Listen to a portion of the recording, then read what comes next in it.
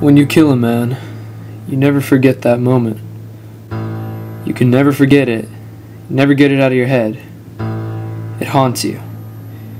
I can still smell the burned flesh and unearthed ground of the trail in the My Khe Valley. Our platoon had been assigned to ambush. Most of the time, nothing happened. You just take your shift while the other man sleeps, not doing much.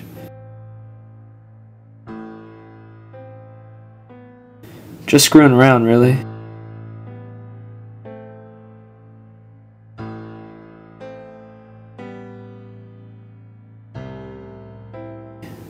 But that night, that night was different. I was on watch. I remember seeing a young man come out of the fog. He wore black clothing, sandals, gray ammunition belt. Shoulders were slightly stooped, head cocked to the side. He seemed at ease.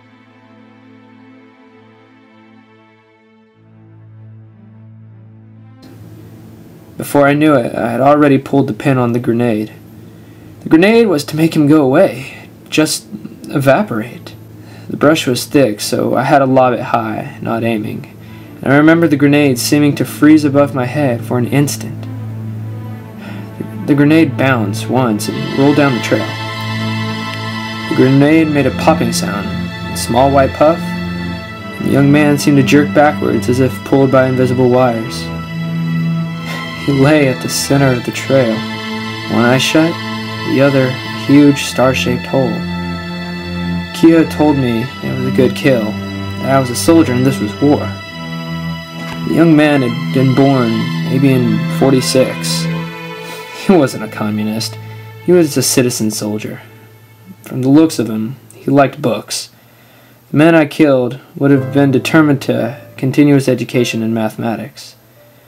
The body lay almost entirely in the shade, gnats in the mouth. His jaw was in his throat, one eye shut, the other a star-shaped hole. The young man seemed to be staring at something distant, a faraway object.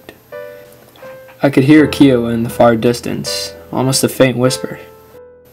Come on, man, talk. Talk, man. Talk.